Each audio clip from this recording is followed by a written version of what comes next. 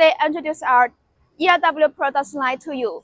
Here is a model 32 and it has seven parts of the machine. The first part is our uncoiler to put the steel coil on it. It has double sides. And then the second part is our vertical accumulator to store the more raw material on it. Here is our vertical accumulator. It can store the steel coil more up to 300 meters or 400 meters depth, so it can keep the machine always productive. And here is a third part, forming section. This one is a flattening device, can flatten the raw material. Here's a forming section. You can see it has seven pieces of horizontal stand. Here is a horizontal stand, adapt the cast steel to have a high stability. And here is a vertical stand. The bearing we adopt the roller bearing to have high stability. And you can see here already installed the molds. The molds is an anti-rust oil before shipping. And here is a gearbox to give the power to our horizontal stand.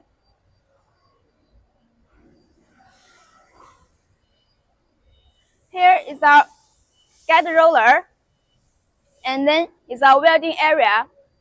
Here is the third, uh, fourth part. Here is a scraper device. Scrap the welding seam outside. It can be more clean and smooth. Uh, this one we'll put on our water tank for cooling. The fifth part is a sizing and straightening section you can make you can see it has six pieces of horizontal stand. So it can make the round pipe more round. And the second one it can make the round pipe into square pipe.